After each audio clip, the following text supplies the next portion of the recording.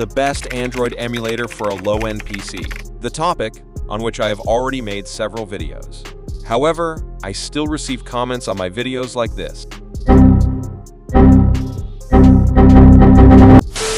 That's why in today's video, I will provide you an emulator that you can use to run Free Fire on your Potato PC, even if you have only 1 GB of RAM, a single core processor, or no graphics card, you can still use this emulator.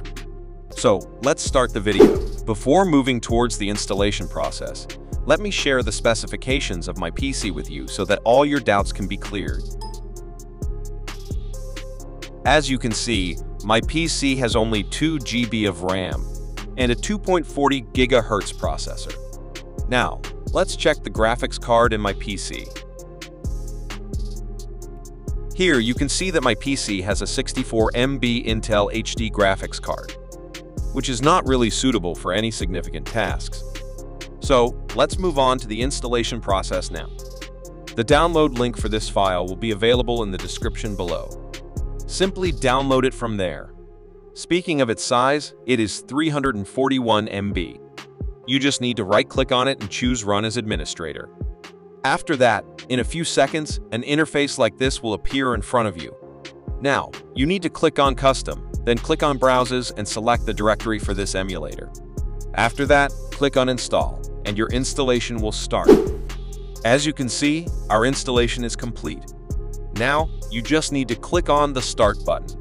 As soon as it launches, I will guide you through some important settings so that you can play Free Fire without any lag. As you can see, our emulator is launched without any errors. You might be experiencing a little lag, and that's because I am using a screen recorder. To adjust the settings, click on this button and go to Advanced Settings. Here, Select Custom and set the CPU cores to the maximum. Now, in the RAM options, select 1400 MB. Then, go to Startup Settings, choose Mobile Phone, and leave the option below as OpenGL. After that, click on Save Settings and restart the emulator once.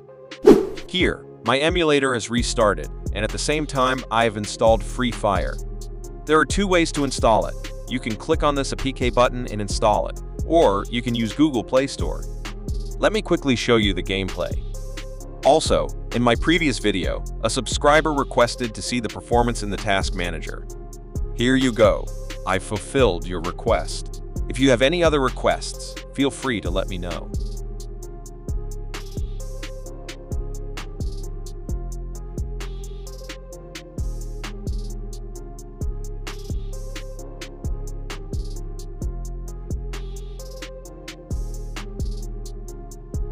The emulator is running smoothly on my PC, but if you still experience lag, I recommend trying a low-end Android operating system instead.